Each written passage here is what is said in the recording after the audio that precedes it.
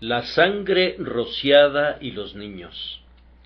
Y Moisés convocó a todos los ancianos de Israel y les dijo, Sacad y tomaos corderos por vuestras familias y sacrificad la Pascua, y tomad un manojo de hisopo y mojadlo en la sangre que estará en un lebrillo, y untad el dintel y los dos postes con la sangre que estará en el lebrillo, y ninguno de vosotros salga de las puertas de su casa hasta la mañana, porque Jehová pasará hiriendo a los egipcios, y cuando vea la sangre en el dintel y en los dos postes, pasará Jehová aquella puerta, y no dejará entrar al heridor en vuestras casas para herir.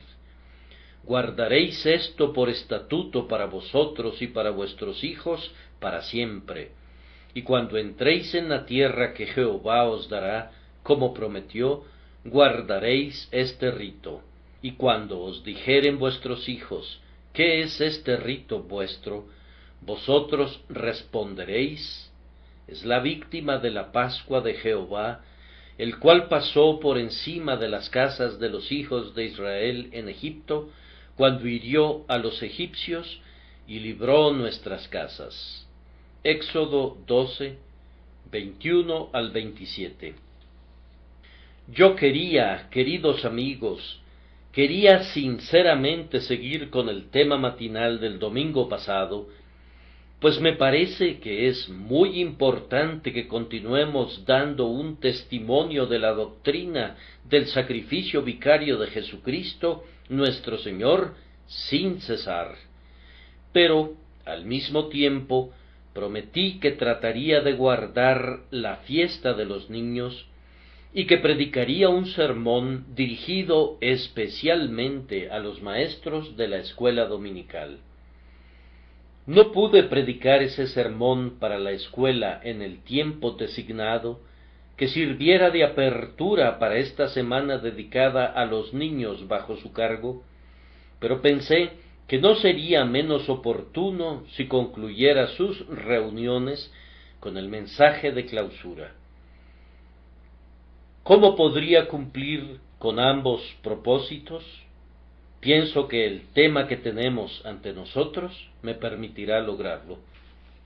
Hablaremos de la sangre rociada y de Jesús, el grandioso sacrificio por el pecado, y luego exhortaremos a todos los que conocen el valor de la gran redención a que enseñen a los jóvenes desde sus primeros días lo que significa la muerte de Jesús y la salvación por medio de su sangre.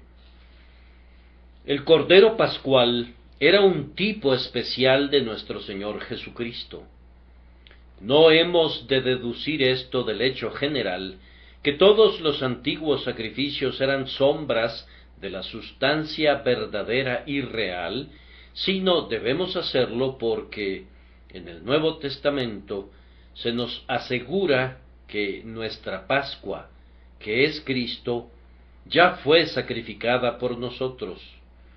1 Corintios 5:7 Como el Cordero Pascual había de ser sin mancha, Así era nuestro Señor, y su inmolación y su abrazamiento en el fuego eran un tipo de su muerte y de sus sufrimientos.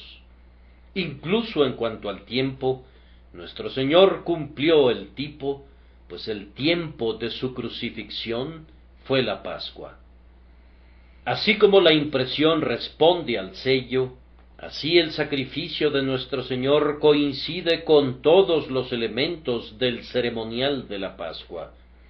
Le vemos tomado de entre los hombres y como oveja fue llevado a la muerte. Vemos su sangre derramada y rociada. Le vemos asado al fuego de la angustia.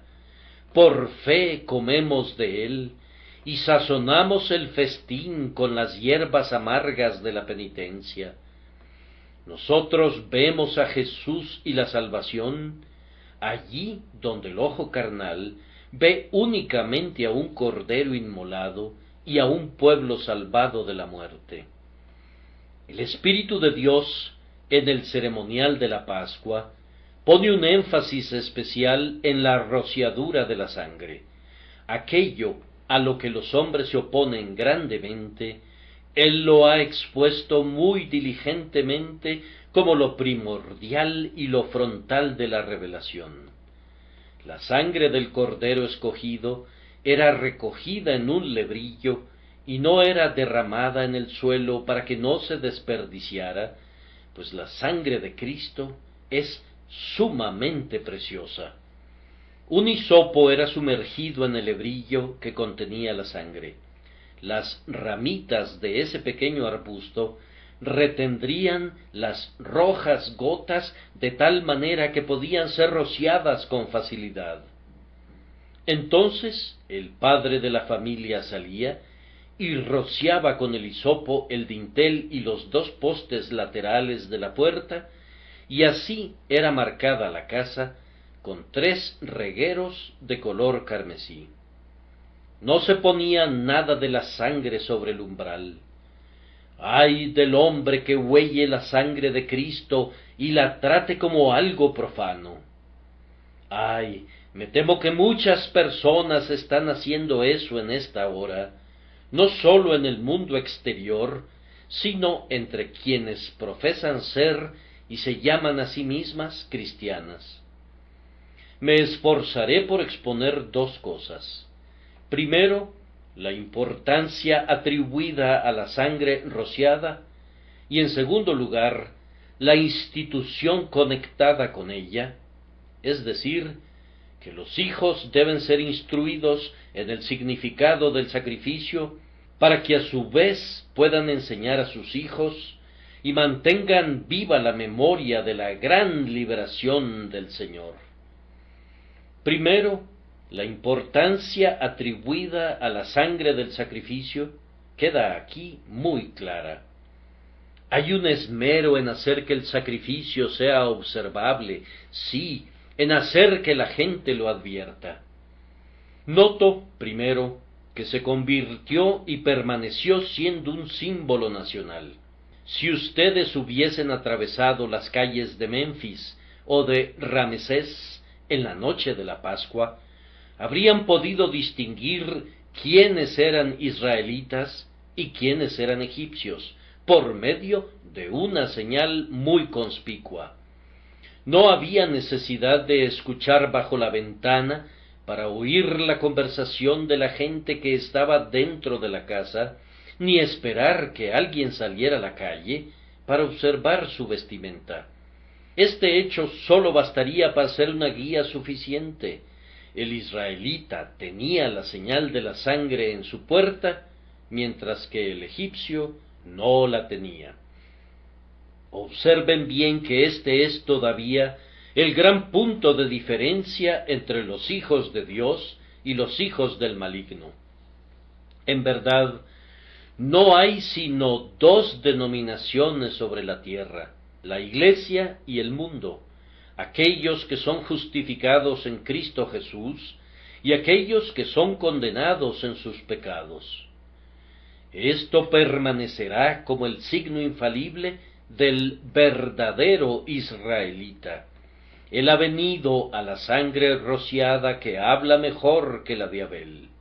El que cree que el Hijo de Dios es el único sacrificio aceptable por el pecado, tiene la salvación, y el que no cree en él, morirá en sus pecados. El verdadero Israel confía en el sacrificio ofrecido una vez por el pecado, es su reposo, su consuelo, su esperanza. En cuanto a aquellos que no confían en el sacrificio expiatorio, han rechazado el consejo de Dios actuando en contra de ellos mismos, y así han declarado su verdadero carácter y condición. Jesús dice, Vosotros no creéis porque no sois de mis ovejas, como os he dicho, y la falta de fe en ese derramamiento de sangre, sin el cual no hay remisión de pecado, es la señal condenatoria de alguien que es extraño a la mancomunidad de Israel. No hemos de hacernos preguntas al respecto. Cualquiera que se extravía y no persevera en la doctrina de Cristo, no tiene a Dios. 2 Juan 9. El que no acepta la propiciación que Dios ha establecido, ha de llevar su propia iniquidad. Nada más justo, y sin embargo, nada más terrible podría sucederle al hombre cuya iniquidad no fuera limpiada jamás, ni por sacrificio, ni por ofrenda. No me importa cuál pueda ser tu supuesta justicia, ni cómo pienses recomendarte ante Dios. Si rechazaras a su Hijo, Él te rechazará a ti. Si te presentaras delante de Dios sin la sangre expiadora, no tendrías ni parte ni porción en el asunto de la herencia del pacto, y no serías contado entre el pueblo de Dios. El sacrificio es el símbolo nacional del Israel espiritual, y el que no lo posea es un extranjero. No tendrá herencia entre los que son santificados, ni contemplará al Señor en la gloria. En segundo lugar, así como esta era la marca nacional, era también el signo salvador. Esa noche el ángel de la muerte abrió con ímpetu sus alas, y conforme descendió sobre las calles de Egipto, hirió por todos lados a los primogénitos de los príncipes y a los primogénitos de las bestias, de tal manera que en cada hogar y en cada establo hubo un muerto. Allí donde veía la señal de la sangre, no entraba para herir, pero en todos los demás lugares la venganza del Señor cayó sobre los rebeldes. Las palabras son muy notables. Jehová pasará hiriendo a los egipcios, y cuando vea la sangre en el dintel y en los dos postes, pasará Jehová aquella puerta, y no dejará entrar al heridor en vuestras casas para herir. ¿Qué detiene a la espada? nada sino la mancha en la puerta. El cordero ha sido inmolado y han rociado sus casas con su sangre, y por tanto están a salvo. Los hijos de Jacob no eran más ricos, ni más sabios, ni más fuertes, ni más diestros que los hijos de Cam, pero ellos fueron redimidos por la sangre, y por eso vivieron mientras que los que no conocían la señal redentora murieron.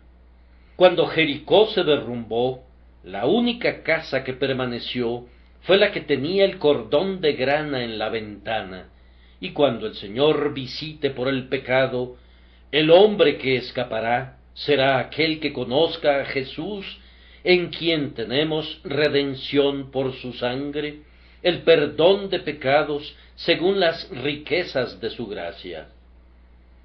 Les pido su atención muy especial, sin embargo, a las palabras que son usadas en el versículo 23. Jehová pasará hiriendo a los egipcios, y cuando vea la sangre en el dintel y en los dos postes, pasará Jehová aquella puerta. Cuán instructiva es la expresión cuando Él vea la sangre. Es algo muy consolador para ustedes y para mí contemplar la expiación, pues así ganamos la paz y entramos en el reposo. Pero, después de todo, la gran razón de nuestra salvación es que el propio Dios mira al sacrificio y se queda complacido por causa de su justicia. En el versículo 13 oímos al propio Dios decir, veré la sangre y pasaré de vosotros. Piensen en el ojo de Dios cuando se vuelve a aquel que quita el pecado del mundo y queda tan fijo en él que pasa de nosotros. Él tiene ojos muy puros como para contemplar la iniquidad, pero mira el rostro de su ungido y perdona el pecado. Él nos acepta con nuestro sacrificio. Nuestro autor de himnos hace bien en orar así. Míralo a Él y mira luego al pecador. Mírame a mí a través de las heridas de Jesús. No es nuestra visión de la sangre rociada la que constituye la base de la salvación, sino la visión de Dios de ella. La aceptación de Dios de Cristo es la garantía segura de la salvación de aquellos que aceptan su sacrificio. Amado, cuando tu ojo de la fe es débil, cuando los globos de tus ojos nadan en una cascada de lágrimas, cuando las tinieblas de la aflicción ocultan mucho de la visión, entonces Jehová ve la sangre de su Hijo y te perdona. En las densas tinieblas, cuando no puedes ver del todo, el Señor Dios no deja de ver nunca en Jesús aquello que le agrada y con lo que su ley es honrada. Él no permitirá que el destructor se acerque a ti para dañarte, pues Él ve en Cristo aquello que vindica su justicia y establece el necesario gobierno de la ley. La sangre es la señal salvadora. En este momento esa es la pregunta premiante para cada uno de los presentes del grupo reunido en esta casa. ¿Confías en la divina propiciación o no confías? Tráeme lo que quieras para demostrar tu propia excelencia personal. Yo no creo en ninguna virtud que insulte a la sangre del Salvador, que es lo único que nos limpia de todo pecado. Más bien, confiesa tus multiplicadas transgresiones y tus deficiencias, y luego ten ánimo y esperanza, pues hay perdón grande e inmerecido para el propio primero de los pecadores, por medio de él que ha hecho la paz por la sangre de su cruz.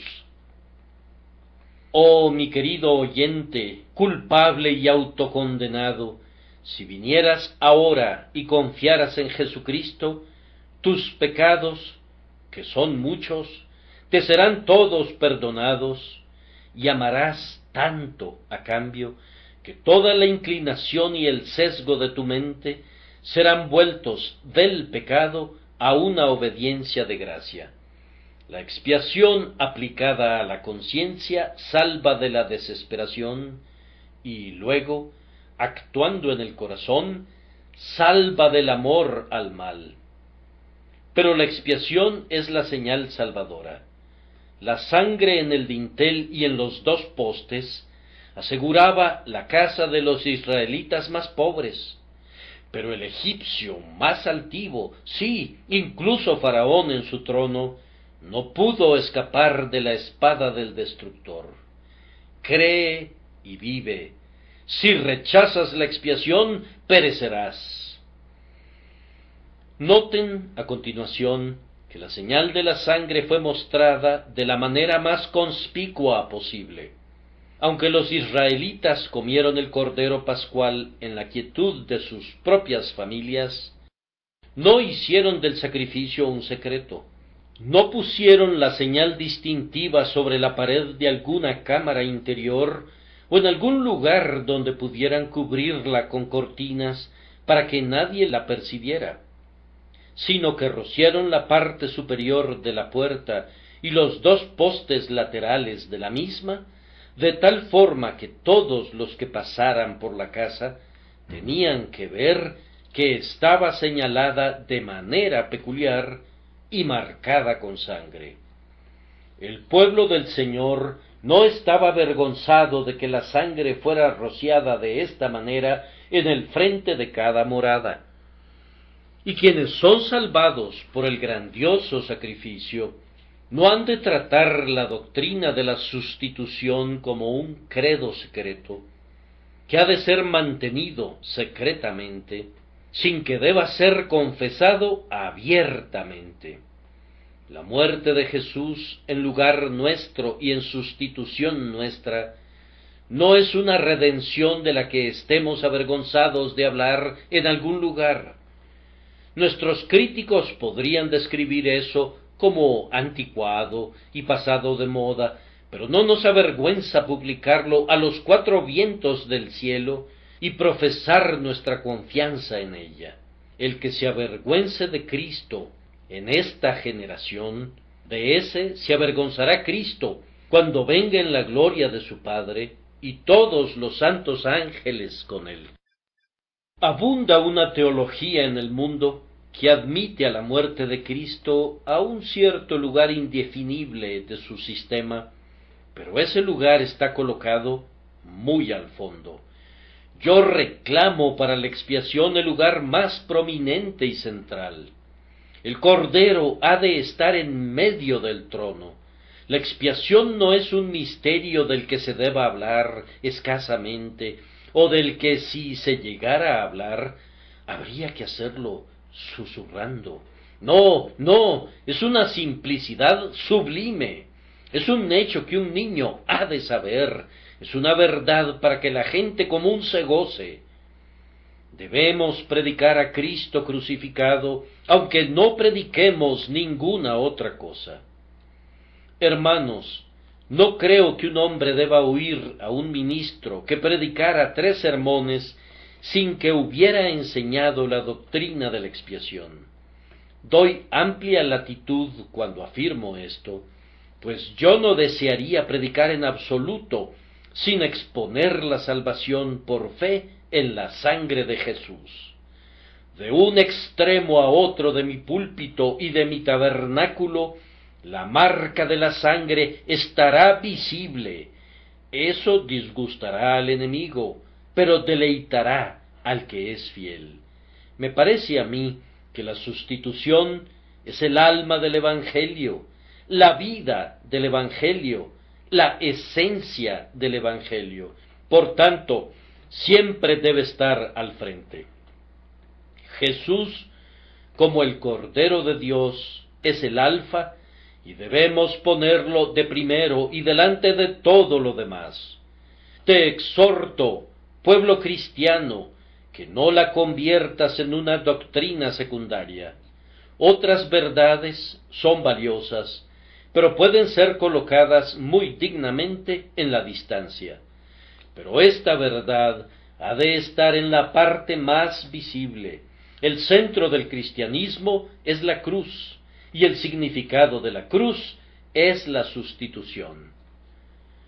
Podríamos desconocer, podríamos ser incapaces de decir qué dolores soportó nuestro Jesús, pero creemos que fue por nosotros que colgó y sufrió allí. El gran sacrificio es el lugar de reunión de la simiente elegida nos encontramos en la cruz, al igual que cada familia de Israel se reunía alrededor de la mesa en la que se colocaba el cordero, y se reunía dentro de una casa que estaba marcada con sangre.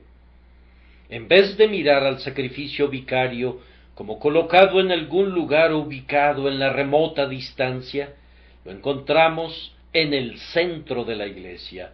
No, es algo más, es de tal manera el centro vital y esencial para todo, que quitarlo es arrancar el corazón de la Iglesia.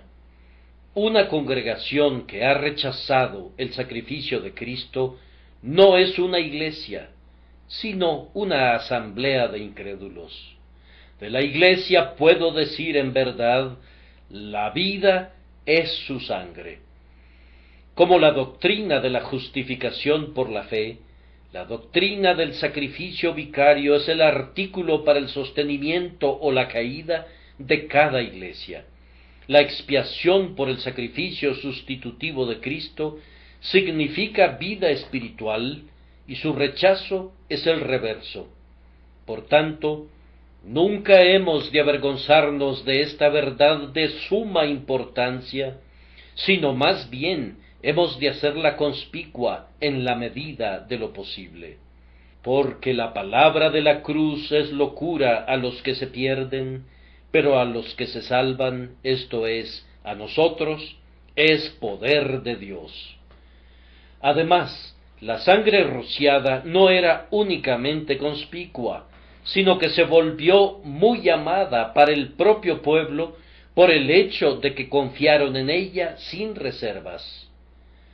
Después de que los postes de las puertas habían sido untados, el pueblo entró en sus casas y cerraron las puertas y no las abrieron otra vez hasta la mañana. Estaban ocupados en el interior, tenían que asar el cordero, preparar las hierbas amargas, ceñirse los lomos y prepararse para la marcha y otras cosas más. Pero todo esto lo hicieron sin miedo al peligro, aunque sabían que el destructor andaba suelto. El mandamiento del Señor era ninguno de vosotros salga de las puertas de su casa hasta la mañana. ¿Qué está sucediendo en la calle? No deben salir a ver. Ha llegado la hora de la medianoche. ¿Acaso no lo oyeron? Escuchen ese grito terrible. Otra vez un alarido desgarrador. Hubo un gran clamor en Egipto. Los israelitas no deben prestar atención a ese grito como para quebrantar la palabra divina que los encierra por unos cuantos instantes hasta que pase la tempestad. Tal vez, en aquella terrible noche, algunas personas de mente ansiosa podrían haber dicho, está sucediendo algo terrible. Oigan esos gritos. Escuchen las pisadas de la gente en la calle que anda corriendo de un lado al otro. Pudiera ser que hubiera una conspiración para matarnos al filo de la noche. Ninguno de vosotros salga de las puertas de su casa hasta la mañana. Fue suficiente para todos los que creyeron verdaderamente. Ellos estaban seguros y lo sabían, y así como polluelos debajo de las alas de la gallina, descansaron seguros. Amados, hagamos lo mismo, honremos la preciosa sangre de Cristo, no solamente hablando valerosamente de ella a otros, sino mediante una confianza calmada y feliz en ella, en nosotros. Descansemos en plena seguridad. ¿Crees que Jesús murió por ti? Entonces ten paz. Que no desfallezca el corazón de nadie ahora que sabemos que Jesús murió por nuestros pecados de acuerdo a las Escrituras. La cruz debe ser el pilar de nuestra confianza firme e inconmovible. No se agiten por lo que ha sido o por lo que ha de ser. Estamos protegidos en la seguridad en Cristo Jesús tanto de los pecados del pasado como de los peligros del futuro. Todo está bien, puesto que la obra de expiación del amor está consumada. Procedamos con nuestras labores de casa en santa paz, purificando la vieja levadura y guardando la fiesta, pero no permitamos que ningún miedo o duda nos conturben ni por un instante. Sentimos piedad por aquellos que mueren sin Cristo, pero no podemos dejar a nuestro Señor bajo la pretensión de salvarlos. Eso sería una insensatez. Sé que hay terribles gritos afuera en las calles. ¿Quién no los ha oído? Oh, que la gente simplemente se protegiera bajo la marca de la sangre.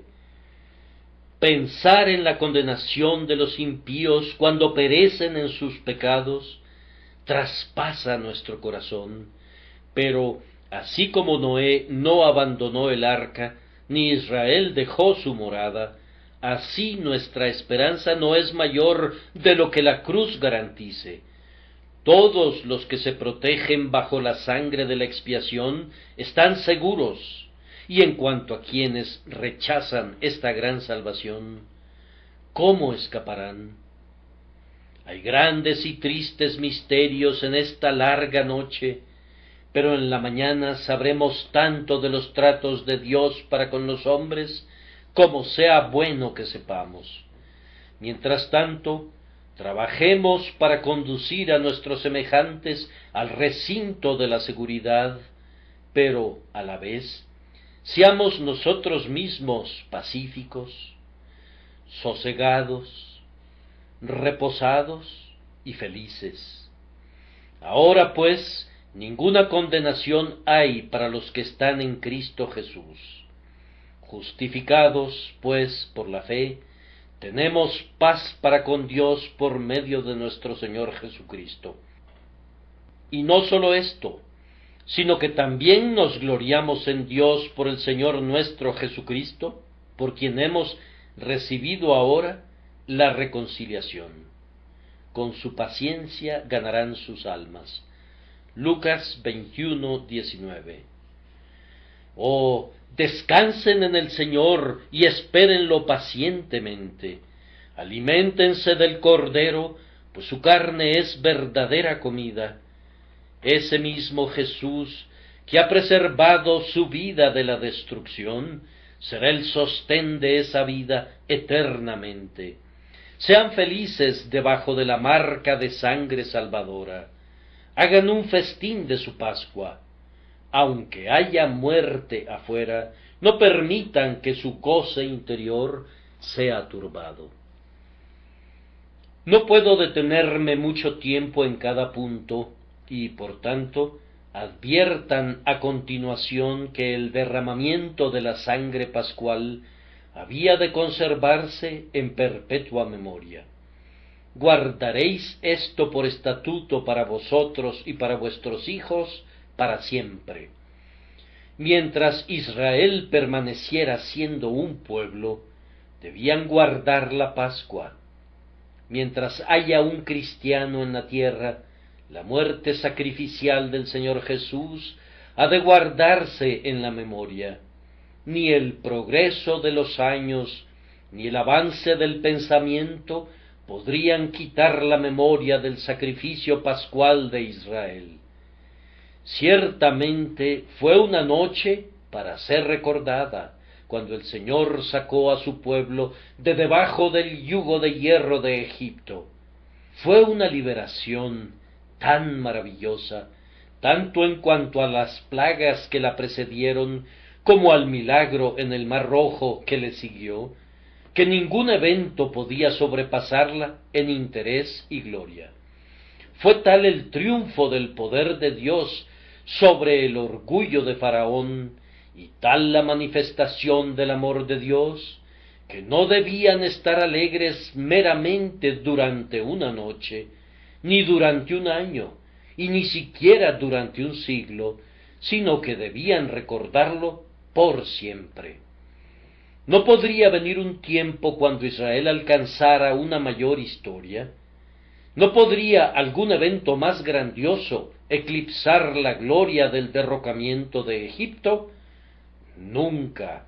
La muerte de los primogénitos de Egipto y el cántico de Moisés en el Mar Rojo deben permanecer bordados para siempre en el tapiz de la historia hebrea.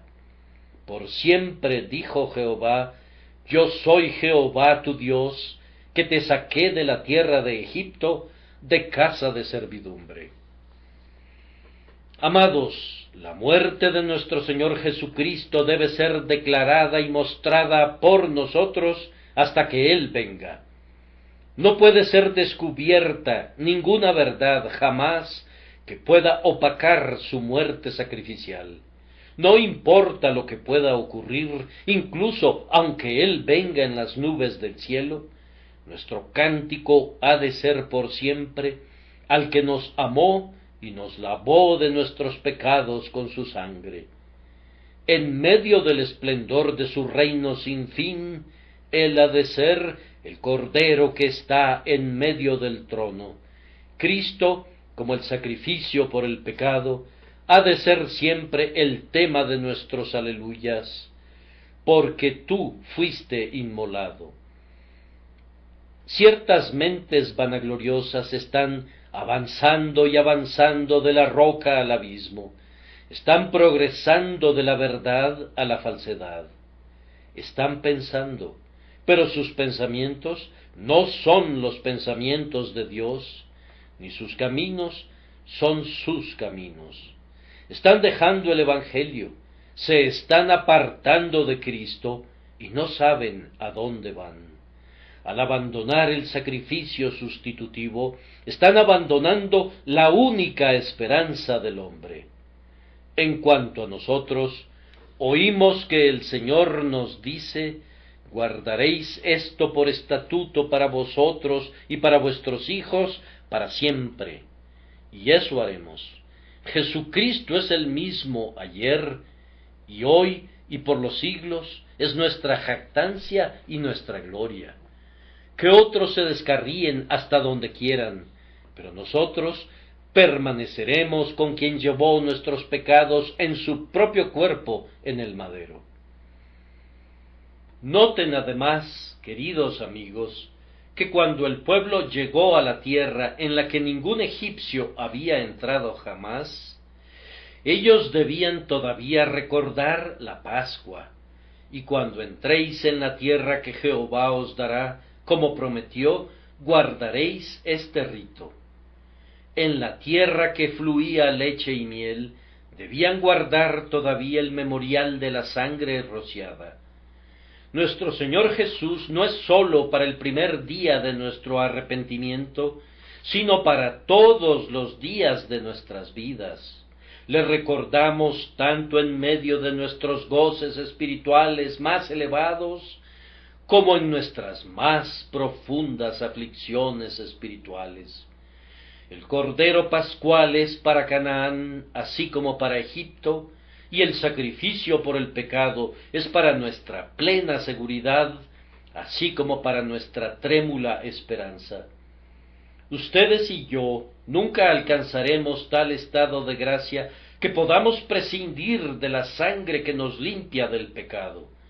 Si alguna vez alcanzáramos la perfección, entonces Cristo sería aún más precioso de lo que es hoy, o si no lo encontráramos así, podemos estar seguros de que nuestro pretendido logro es un infeliz engaño aunque andamos en luz como Dios está en luz, y tengamos constante comunión con Él, aun así es la sangre de Jesucristo su Hijo la que nos limpia de todo pecado. Además, hermanos, quiero que noten cuidadosamente que esta sangre rociada había de ser una memoria que lo llenara todo. Capten este pensamiento los hijos de Israel no podían salir de sus casas y no podían entrar a ellas sin el recuerdo de la sangre rociada. Estaba sobre sus cabezas. Debían pasar debajo de ella. Estaba a su mano derecha y a su mano izquierda. Tenían que estar rodeados de ella. Casi podrían decir de ella, ¿A dónde me iré de tu presencia? ya sea que miraran a sus puertas o a las puertas de sus vecinos, siempre había ese triple reguero que permanecía allí tanto de día como de noche. Y esto no era todo. Cuando dos de Israel se casaban y se ponía el cimiento de una familia, había otro memorial. El joven esposo y la esposa tenían el goce de mirar a su hijo primogénito y luego recordaban que el Señor había dicho, conságrame todo primogénito. Como un israelita, él explicaba esto a su hijo y le decía, Jehová nos sacó con mano fuerte de Egipto, de casa de servidumbre, y endureciéndose Faraón para no dejarnos ir, Jehová hizo morir en la tierra de Egipto a todo primogénito, desde el primogénito humano hasta el primogénito de la bestia, y por esta causa yo sacrifico para Jehová todo primogénito macho, y redimo al primogénito de mis hijos. El comienzo de toda familia que constituía la nación de Israel era así un tiempo especial de recordación de la sangre rociada, pues entonces tenía que pagarse el dinero del rescate y así se hacía un reconocimiento de que le pertenecía al Señor, este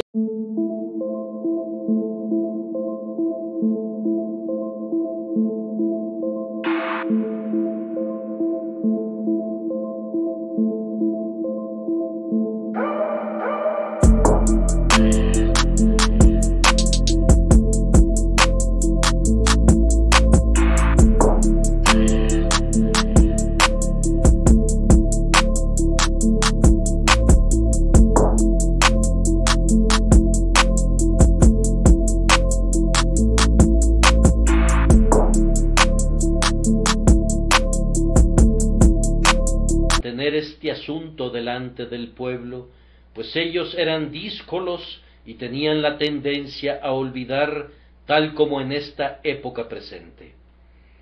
En el capítulo decimotercero, en el versículo nueve, leemos, y te será como una señal sobre tu mano y como un memorial delante de tus ojos. Y otra vez, en el versículo dieciséis, leemos, te será pues como una señal sobre tu mano y por un memorial delante de tus ojos, por cuanto Jehová nos sacó de Egipto con mano fuerte.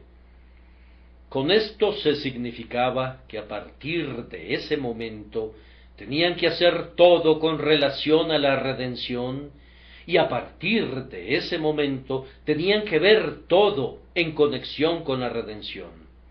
La redención por sangre tenía que consagrar la mano de todo hombre, de tal forma que no podía usarla para el mal, sino que debía emplearla para el Señor.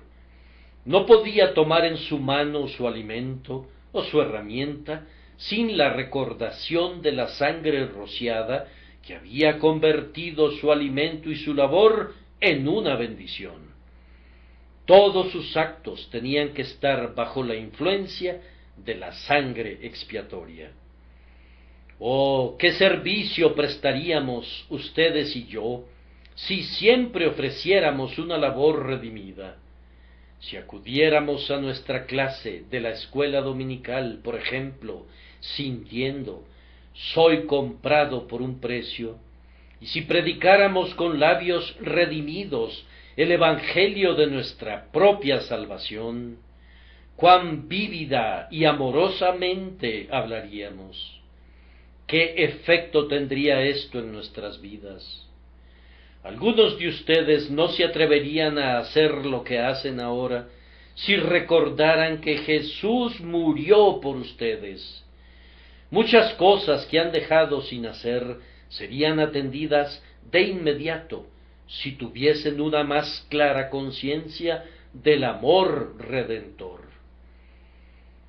Los judíos se volvieron supersticiosos y se contentaban con la letra de la ley, y por ello escribieron ciertos versículos en pequeñas franjas de pergamino llamadas filacterias, que encerraban en una caja y luego la ataban en sus muñecas.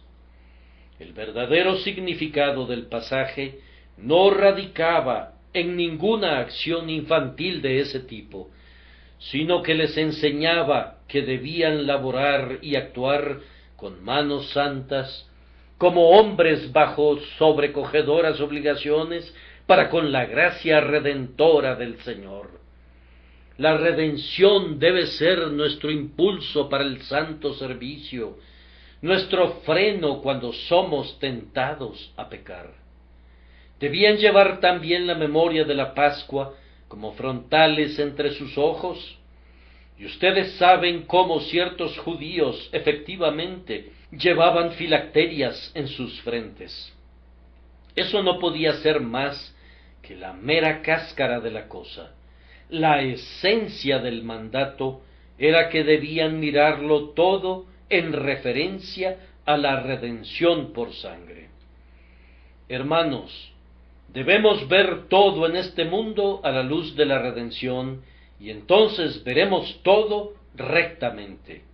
Ocurre un cambio maravilloso cuando ven a la providencia desde el pie de la cruz, en vez de verla desde el punto de vista del mérito humano. No vemos nada verdaderamente hasta que Jesús es nuestra luz. Cada cosa es vista en su realidad cuando ven a través del cristal, del cristal carmesí del sacrificio de expiación. Usen este telescopio de la cruz y verán a la distancia y más claramente. Miren a los pecadores a través de la cruz, miren a los santos a través de la cruz, miren al pecado a través de la cruz, miren los deleites y las aflicciones del mundo a través de la cruz, miren al cielo y al infierno a través de la cruz. Miren cuán conspicuo es el significado de la sangre de la Pascua y luego aprendan de todo esto a tener gran consideración por el sacrificio de Jesús, sí, y a convertirlo en todo, pues Cristo es todo. Una cosa más.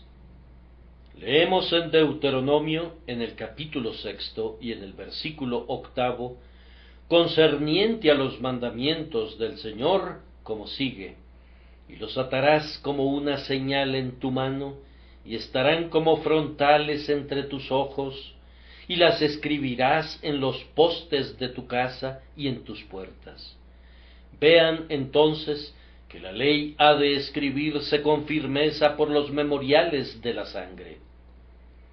En Suiza, en las aldeas protestantes, Ustedes han visto los textos de la escritura sobre los postes de las puertas. Yo deseo a medias que tuviéramos esa costumbre en Inglaterra.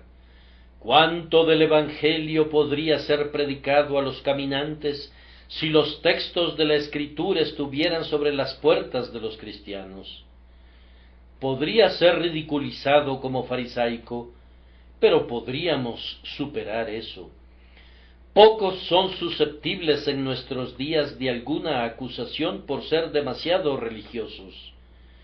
A mí me gusta ver los textos de la escritura en nuestras casas, en todas las habitaciones, en las cornisas y sobre las paredes. Pero afuera, en la puerta, qué importante publicidad podría recibir el Evangelio a un precio muy bajo.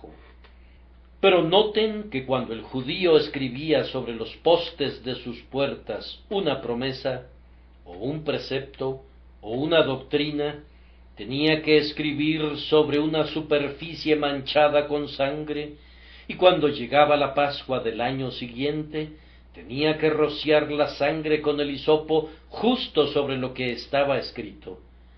Me parece muy deleitable pensar en la ley de Dios en conexión con ese sacrificio expiatorio que la ha magnificado y que la ha hecho honorable. Los mandamientos de Dios me llegan como a un hombre redimido. Sus promesas son para mí como para un hombre comprado con sangre. Su enseñanza me instruye como a uno para quien la expiación ha sido hecha.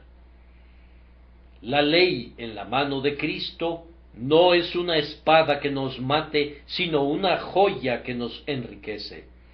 Toda verdad tomada en conexión con la cruz es grandemente acrecentada en valor. La propia Santa Escritura se vuelve amada en un grado séptuplo cuando vemos que nos llega como a los redimidos del Señor y muestra en cada una de sus páginas las señales de esas amadas manos que fueron clavadas al madero por nosotros. Amados, ustedes ven ahora cómo todo fue hecho para que la sangre del Cordero Pascual pudiera ser llevada a una excelsa posición en la estima de la gente a quien el Señor sacó de Egipto. Y ustedes y yo debemos hacer todo aquello en lo que podamos pensar para exponer y mantener delante de los hombres por siempre la preciosa doctrina del sacrificio expiatorio de Cristo. Al que no conoció pecado, por nosotros lo hizo pecado, para que nosotros fuésemos hechos justicia de Dios en él. Y ahora voy a pasar un breve tiempo trayendo a su memoria la institución que estaba conectada con el recuerdo de la Pascua. Y cuando os dijeren vuestros hijos, ¿qué es este rito vuestro? Vosotros responderéis, es la víctima de la Pascua de Jehová. La indagación debe ser estimulada en las mentes de nuestros hijos. Oh, que los pudiéramos inducir a hacer preguntas acerca de las cosas de Dios. Algunos de ellos indagan desde muy temprano, mientras que otros parecen enfermos con una indiferencia semejante a la de los adultos hemos de tratar con ambos órdenes de mente. Es bueno explicar a los hijos la ordenanza de la cena del Señor, pues esto expone la muerte de Cristo en símbolo. Lamento que los hijos no vean más a menudo esta ordenanza. El bautismo y la cena del Señor deberían ser colocados ambos a la vista de la generación que surge para que puedan entonces preguntarnos, ¿qué es este rito vuestro? Ahora, la Cena del Señor es un sermón evangélico perenne y tiene que ver principalmente con el sacrificio por el pecado. Podrían desterrar del púlpito la doctrina de la expiación, pero viviría siempre en la iglesia a través de la Cena del Señor no podrían explicar ese pan partido y esa copa llena del fruto de la vid sin referencia a la muerte expiatoria de nuestro Señor. No pueden explicar la comunión del cuerpo de Cristo sin introducir de una manera o de otra la muerte de Jesús en nuestro lugar y nuestro sitio. Entonces, deben permitir a sus pequeñitos ver la cena del Señor y se les debe decir claramente su significado. Si no es la cena del Señor, pues eso no es la cosa misma, sino únicamente la sombra del glorioso hecho, reflexionen mucho y con frecuencia, en presencia de ellos, en los sufrimientos y en la muerte de nuestro Redentor ellos deben pensar en Getsemaní y en Gabata y en el Gólgota, y deben aprender a cantarle en tonos quejumbrosos a Él, que entregó su vida por nosotros. Díganles quién fue el que sufrió y por qué. Sí, aunque el himno no me gusta mucho en algunas de sus expresiones, haría que los niños cantaran hay una colina verde y alejada fuera de los muros de una ciudad. Y les haría aprender líneas tales como estas. Él sabía cuán perversos habíamos sido y sabía que Dios debe castigar el pecado. Así que por piedad Jesús dijo que Él soportaría en sustitución el castigo. Y cuando la atención es estimulada para el mejor de los temas, debemos estar listos a explicar la grandiosa transacción por la cual Dios es justo y sin embargo los pecadores son justificados. Los niños pueden entender bien la doctrina del sacrificio expiatorio. Tiene el propósito de ser un evangelio para los más jóvenes el Evangelio de la sustitución es una simplicidad, aunque sea un misterio. No debemos estar contentos hasta que nuestros pequeñitos conozcan y confíen en el sacrificio consumado. Este es un conocimiento esencial y es la llave para las demás enseñanzas espirituales. Nuestros amados hijos deben conocer la cruz y así habrán comenzado bien. Junto a todo lo que reciban, Deben recibir un entendimiento de esto y entonces tendrán el cimiento debidamente colocado. Esto requerirá que le enseñen al niño su necesidad de un Salvador. No deben retrasar esta necesaria tarea. No halaguen al niño con basura engañosa acerca de que su naturaleza es buena y que necesita ser desarrollada. Díganle que debe nacer de nuevo. No lo catapulten con la fantasía de su propia inocencia, sino que han de mostrarle su pecado. Menciónenle los pecados infantiles a los que está propenso y pídanle al Espíritu Santo que obre convicción en su corazón y en su conciencia. Traten con los jóvenes de una manera semejante a como tratarían a los adultos. Sean exhaustivos y honestos con ellos. Una religión endeble no es buena ni para los jóvenes ni para los viejos. Estos muchachos y muchachas necesitan el perdón por medio de la preciosa sangre, tan ciertamente como cualquiera de nosotros. No duden en decirle al niño su ruina, de otra manera no deseará el remedio. Háblenle también del castigo del pecado y adviértanle de su terror. Sean tiernos, pero sean sinceros no oculten del joven pecador la verdad, por terrible que sea. Ahora que ha llegado a los años de responsabilidad, si no creyera en Cristo, le irá muy mal en el último gran día. Pongan delante de él el tribunal y recuérdenle que tendrá que rendir cuentas de las cosas hechas en el cuerpo. Esfuércense para despertar la conciencia y pídanle a Dios el Espíritu Santo que obre por ustedes hasta que el corazón se torne tierno y la mente perciba la necesidad de la gran salvación. Los niños necesitan aprender la doctrina de la cruz para que puedan encontrar la salvación inmediata. Doy gracias a Dios porque en nuestra escuela dominical creemos en la salvación de los niños como niños. Cuán múltiple ha sido mi gozo cuando veo a muchachos y muchachas pasar al frente para confesar su fe en Cristo.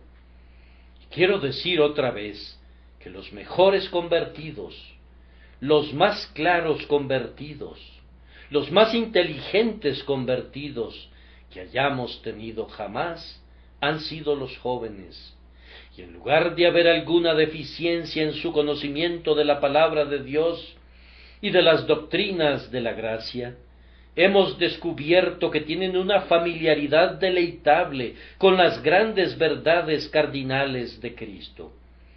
Muchos de estos amados niños han sido capaces de hablar de las cosas de Dios con gran placer de corazón y fuerza de entendimiento. Prosigan, queridos maestros, y crean que Dios salvará a sus niños. No se contenten con sembrar principios en sus mentes que puedan posiblemente desarrollarse en años posteriores, sino que han de trabajar por la inmediata conversión. Esperen fruto de sus niños mientras sean niños, Oren por ellos para que no corran al mundo y caigan en los males de los pecados visibles, para luego regresar con huesos rotos al buen pastor, sino que sean guardados por la rica gracia de Dios de los senderos del destructor y que crezcan en el rebaño de Cristo, primero como corderos de su rebaño y luego como ovejas de su mano. De una cosa estoy seguro, y es que si enseñamos a los niños la doctrina de la expiación en los términos más inconfundibles, nos estaremos haciendo un bien a nosotros mismos. Algunas veces espero que avive a su iglesia y la restaure a su antigua fe por una obra de gracia entre los niños. Si Él trajera a nuestras iglesias una gran afluencia de jóvenes, ¿Cómo tendería a vivificar la sangre indolente de los negligentes y de los amodorrados? Los niños cristianos tienden a mantener la casa viva. Oh, que pudiéramos tener más de ellos, si el Señor nos ayudara a enseñarles a los niños, nos estaríamos enseñando a nosotros mismos. No hay mejor manera de aprender que enseñando, y no saben bien algo mientras no lo puedan enseñar a alguien más. No conocen enteramente una verdad mientras no la puedan poner delante de un niño para que la vea al tratar de lograr que un pequeñito entienda la doctrina de la expiación, tendrán ustedes mismos un entendimiento más claro y por tanto les recomiendo ese santo ejercicio.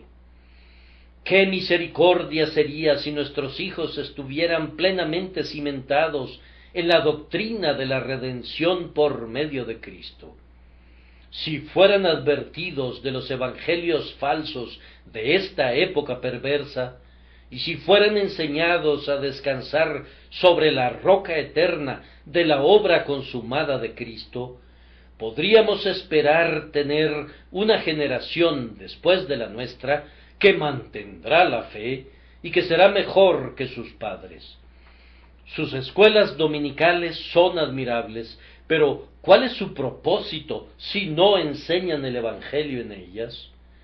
Juntan a los niños y los mantienen quietos durante una hora y media y luego los envían a casa. Pero ¿para qué sirve eso?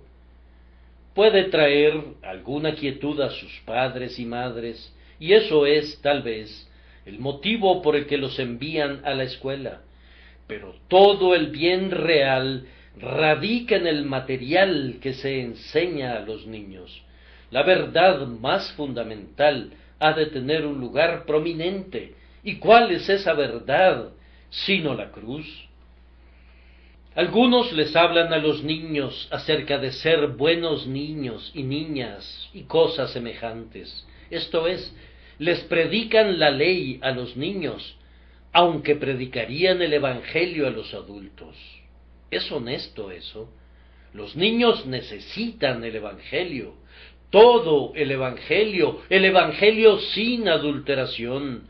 Los niños deben recibirlo y si son enseñados por el Espíritu de Dios, son capaces de recibirlo al igual que las personas de años maduros. Enséñenles a los pequeñitos que Jesús murió, el justo por los injustos, para llevarnos a Dios. Muy, muy confiadamente dejo en verdad esta obra en manos de los maestros de esta escuela. Nunca conocí a un cuerpo más noble de hombres y mujeres cristianos, pues son tan sinceros en su apego al viejo Evangelio como son ávidos de ganar almas. Tengan ánimo, hermanos y hermanas míos. El Dios que ha salvado a tantos de sus hijos, va a salvar a muchos más de ellos, y tendremos gran gozo en este tabernáculo conforme veamos a cientos de niños que son traídos a Cristo. Que Dios nos conceda eso por Jesucristo nuestro Señor.